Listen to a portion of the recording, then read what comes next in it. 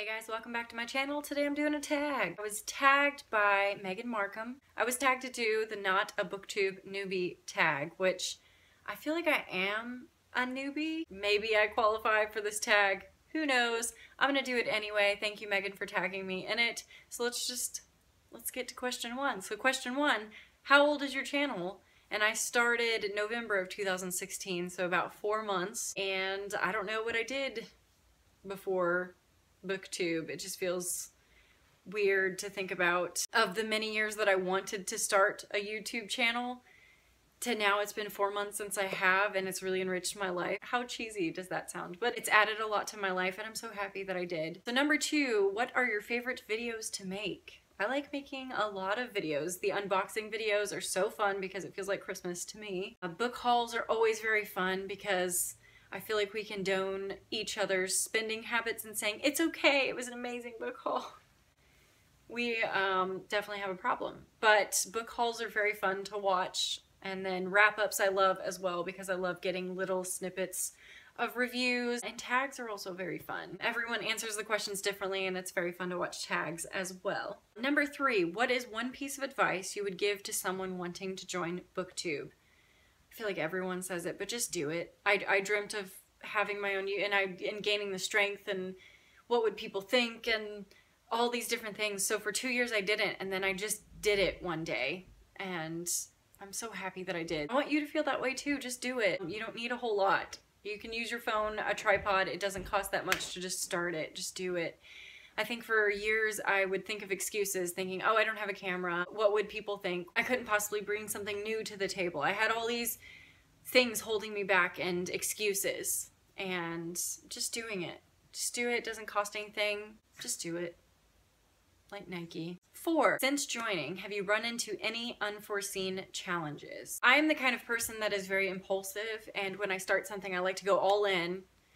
So I made a pact to myself that when I started this YouTube channel that I would not spend tons and tons of money. Like buying a new camera, buying a lighting kit, buying all of these books, buying, you know, I wanted, the biggest challenge was just convincing myself that I did not need to spend tons of money to start this channel. And I recommend that for you too because I was worried I'd start this gung-ho, buy a camera, buy all this nice lighting, and then be bored of it or stop because that's who I am, but thankfully I still really like it. I feel like I'm at this point where I feel like, you know, investing in a camera is a good idea because I can see that this is something that I would like to continue. So, you know, not spending too much on the forefront and then not, this may come across as, but just to not take it so seriously. I already have a job I don't need another job. I don't want another job. I wanted this to be something for me. And I didn't tell a whole lot of people it's for me. And to meet you guys and become a part of this community. Keep this as a hobby. Don't take it too seriously. And if it's something that turns into where you're getting some job opportunities, that's amazing. But I wanted to keep this light and fun and not take it so seriously and not feel like I had to read so many books in a month for me to be a viable source on booktube or to be really strict on my filming schedule. I just did not, I don't want it to be so serious where it's becoming a second job to me or a chore. So definitely, you know, keeping it a hobby and then lighting is always really tricky too. Of course, we'd all love to have an amazing lighting kit, but you know, in front of my window, you know, you get a few dots here and there, but it just, it doesn't matter those were kind of the challenges, if you will. Of course, we all question whether our voice is something unique and you need to let that go because just you as a person, I mean, everybody interprets books differently and everyone talks differently and has a different sense of humor. So you can bring something new to the table by repeating and reading the same books as everybody else. You might just have a different voice on it. So number five, what is your favorite book or series that you've read because of BookTube? And I've been really happy that I've been introduced to Daphne du Maurier. She wrote Rebecca, Jamaica Inn, my cousin Rachel, which they're making a movie with Rachel Weisz, Rachel Weisz, Rachel Weisz. Very excited about that. So I'm definitely going to read my cousin Rachel, but she is becoming one of those classic, classic people to me, like Charlotte Bronte, Jane Austen, and Daphne du Maurier are up there for me of female voices that I just love. So happy I was introduced to Daphne du Maurier. If you haven't read them, go for it. Rebecca is, is amazing. Technically, it's the only Daphne du Maurier that I've read, so this verdict may still be out, but I definitely want to read Jamaica Inn and My Cousin Rachel and anything else that she's written. Number six. Overall, what is your favorite aspect of BookTube? The people, all of the friends that I've met, talking books with people, talking new releases, because normal people don't read as much as we do or talk about books as much as we do, so it's a place that I can come and I can really geek out over books. And all the support, very little hate comments, it's all love and support, and that's why I love BookTube. It's just the people.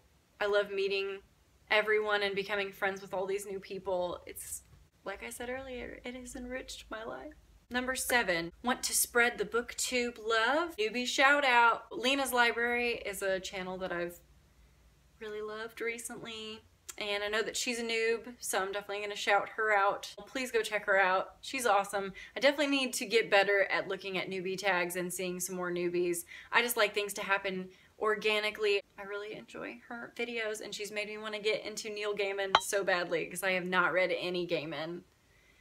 So what am I doing with my life? And number eight, who do you tag? And I tag anyone who wants to do this. I know a lot of people that I know that have already done this, so I it sounds like a lot of effort to go and find the people who haven't done this yet. So please just do it if you want to do it and leave it down in the comments down below that you did it so I can go check it out. I would love to check out your videos. I still feel like a booktube newbie, but it's still I'm just so happy that I started it and I've met everyone and I'm a part of this community. I really enjoy it. So that's that tag. And also, side note, I'm wanting to branch out into different book subscription boxes.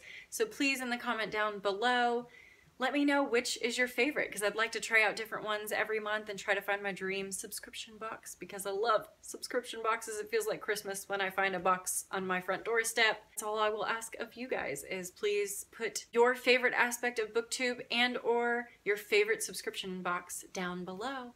But I love you guys. Thank you so much for watching another one of my videos, and I'll see you in the next one. To do the not, what is it? To do the not a book tag, not a book tag newbie but tube. I don't know.